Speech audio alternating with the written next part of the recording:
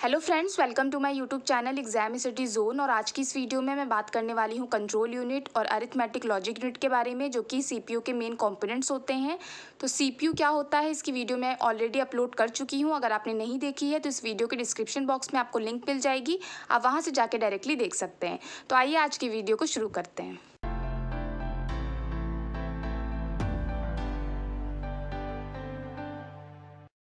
सबसे पहले मैं बात करूँगी कि कंट्रोल यूनिट क्या होता है, उसके बाद मैं बात करूँगी कि एएलयू क्या होता है। जैसे कि मैंने कहा था कि सीपीयू के मेन कंपोनेंट्स होते हैं कंट्रोल यूनिट और एएलयू तो कंट्रोल यूनिट का क्या काम होता है? ये एएलयू को इनपुट आउटपुट डिवाइस को कंप्यूटर की मेमोरी को बताता है कि जो भी इंस्ट्रक्शंस दिए गए हैं, उनको किस तरीके से रिस्पॉन्ड करना है, उनको किस तरीके से आंसर करना है, ये काम करता है कंट्रोल यूनिट कंट्रोल यूनिट खुद से कोई प्रोसेसिंग का काम नहीं करता है, बल्कि ये जो प्रोसेसिंग का काम हो रहा होता है, उसे कंट्रोल करना, उसे डायरेक्ट करना कि क्या काम करना है, कब करना है, ये सारी चीज़ें जो होती हैं वो कंट्रोल यूनिट करता है। ये एलियो को बताता है कि उसे क्या काम करना है, जो भी इंस्ट्रक्शन उसको दिए गए हैं, उस पर कैसे काम करना है, कैसे उसको आंसर करना है रिस्पॉन्ड करना है, ये सारा भी जो चीज़ें हैं एलियो को बताना ये कंट्रोल यूनिट करता है। साथ में ये सभी कामों को अच्छी तरीके से करवाने का काम करता है। तो जो भी इंस्ट्रक्शंस दिए जाते हैं, उन पर प्रोसेसिंग होती है, उसके बाद फाइनल रिज़ल्ट हम तक पहुँचता है। तो ये सारे जो प्रोसेसिंग का काम है, उसको डायरेक्ट करना कंट्रोल करना तो ये मेन काम होता है कंट्रोल यूनिट का। जैसा कि मैंने आपको पहले भी बताया था कि कंट्रोल यूनिट खुद से कोई भी प्रोसेसिंग का काम नहीं करता है, ये जबकि जो प्रोसेसिंग का काम हो रहा है, उसे डायरेक्ट करना कंट्रोल करने का काम करता है। जैसे मैंने आपको कहा था कि ए को बताता है कि उसे कब क्या काम करना है, जितने भी डिवाइसेस हैं, उनको इंस्ट्रक्शन देता है कि उन्हें कब कौन सा काम करना है तो ये सारे काम किसके होते हैं? कंट्रोल यूनिट के। इसीलिए प्रोसेसिंग का काम जो होता है, वो कंट्रोल यूनिट नहीं करता है, जबकि प्रोसेसिंग के कामों को पूरा करने के लिए, उनको डायरेक्ट करना, उनको कंट्रोल करने का काम, कब कौन सा काम करना है, किस टाइम पे करना है, किस डिवाइस को क्या काम करना है तो ये सारी चीज़ें कौन करता है? कंट्रोल यूनिट इस तरीके से हम कह सकते हैं कि जो कंप्यूटर सिस्टम में जो कंट्रोल यूनिट का क्या काम है तो कंट्रोल यूनिट मैनेज करता है, कोऑर्डिनेट करता है, डायरेक्ट करता है सारे ऑपरेशंस को जो कि परफॉर्म किए जाते हैं कंप्यूटर सिस्टम के जितने भी कंपोनेंट्स हैं उनके द्वारा। जैसा कि मैंने आपको बताया था ब्लॉक डायग्राम में, अगर आपने वीडियो नहीं देखी है तो इस वीडियो के डिस्क्रिप्शन बॉक्स में आपको लिंक मिल जाएगी, वहाँ से जाके ज़रूर देख लीजिएगा।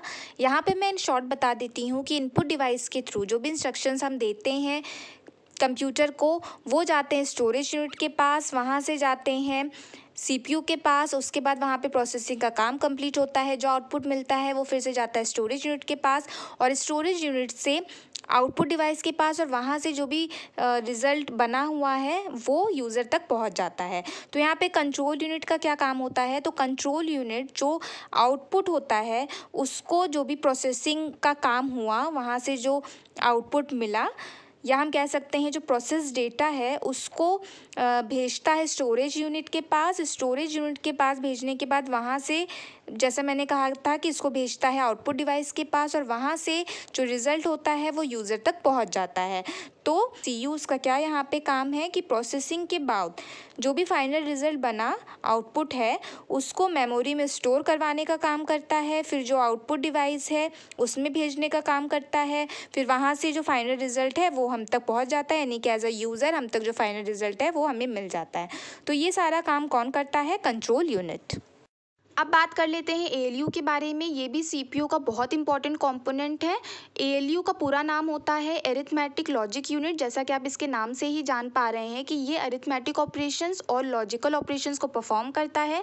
ए की जो अरिथमेटिक यूनिट होती है, वो अरिथमेटिक ऑपरेशन को परफॉर्म करती है, जिसमें आता है सब्सट्रैक्शन डिवीज़न मल्टीप्लीकेशन एडिशन तो इस तरीके के जितने भी अरिथमेटिक ऑपरेशन होते हैं, वो ए की अरिथमेटिक यूनिट परफॉर्म करती है। उसी तरीके से जो ए की लॉजिक यूनिट होती है, वो लॉजिकल ऑपरेशंस को परफॉर्म करती है। इसमें कौन कौन से ऑपरेशंस आते हैं? जैसे greater than less than equal to तो ये सारे ऑपरेशंस आते हैं जो कि ए की लॉजिक यूनिट परफॉर्म करती है।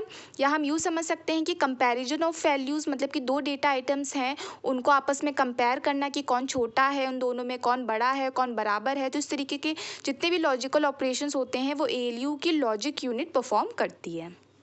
इन शॉर्ट हम इस तरीके से समझ सकते हैं कि ए दो यूनिट में डिवाइड होता है। एक होता है अरिथमेटिक यूनिट एक होता है लॉजिक यूनिट ए की जो अरिथमेटिक यूनिट होती है, वह अरिथमेटिक ऑपरेशन को परफॉर्म करती है। कौन कौन से ऑपरेशन होते हैं, जो मैं आपको पहले बता चुकी हूँ।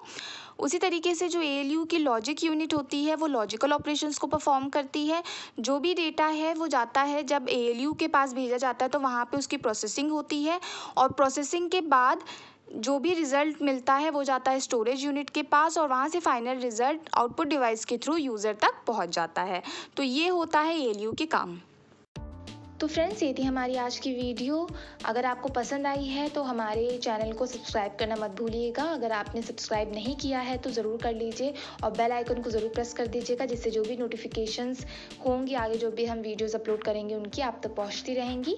और अगर ये वीडियो पसंद आई है तो लाइक करना मत भूलिएगा. तो thanks for watching friends and have a good day